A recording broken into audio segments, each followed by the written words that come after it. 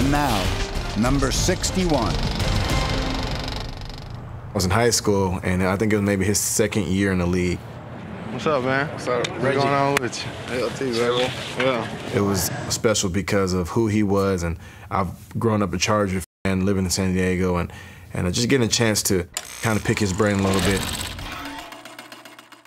There may never be another guy like him, ever. You know, being a running back is kind of like being an artist. You mm-hmm. got to remember that. While their artistry is similar, LaDainian Tomlinson has painted solo masterpieces for a decade. LT and he cuts behind a block at the 30 and he's still going at the 40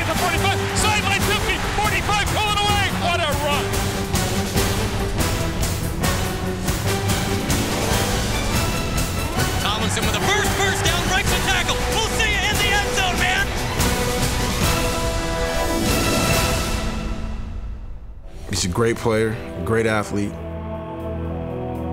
He just absolutely made guys look silly, time after time after time.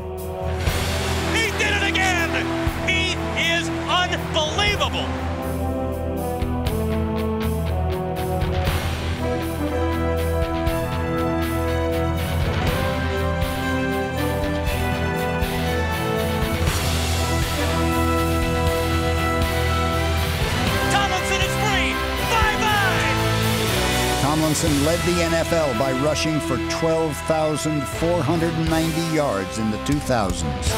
Pulling away. What a run.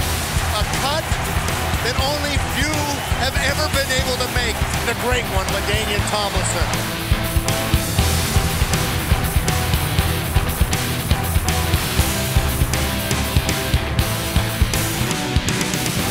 In the history of the NFL, few have been better near the goal line than Tomlinson.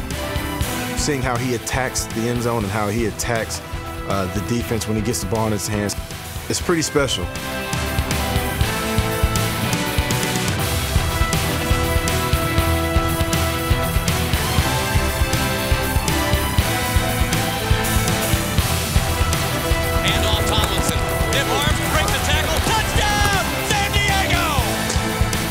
Those guys that he just has a nose for the end zone.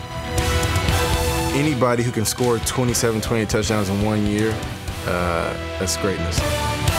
In 2006, he set the NFL record with 31 touchdowns in a season. Into the end zone. Charger fans are witnesses to history. What is your main goal for the NFL? I think of it like you play it to leave a mark on the game.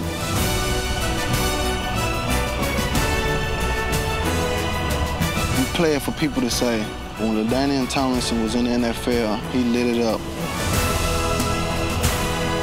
He was definitely one of the best running backs of all time.